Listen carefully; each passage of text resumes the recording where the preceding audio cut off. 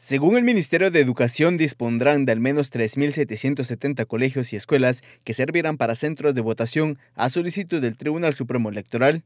La viceministra de Educación Bilingüe e Intercultural explicó que actualmente el Ministerio de Educación cuenta con más de 36.000 centros de educación, aunque mencionó que no todos serán utilizados para el proceso electoral de 2023.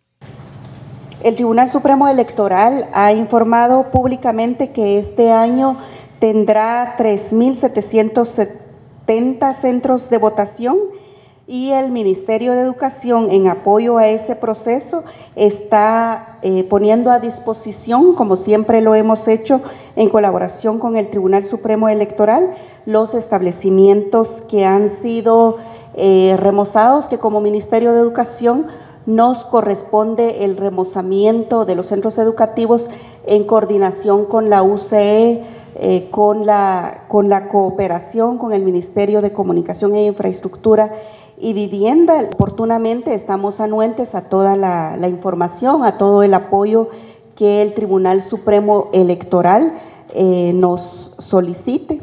El Ministerio de Educación cuenta actualmente con 36 mil 90 eh, establecimientos educativos abiertos hasta la fecha. Por supuesto, no todos estos centros educativos son utilizados como espacios para que se realice las elecciones de este año.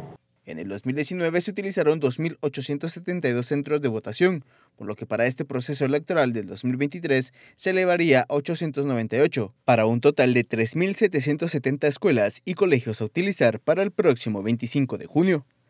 El TSE señaló que se habilitarán más centros de votación derivado del aumento del padrón electoral.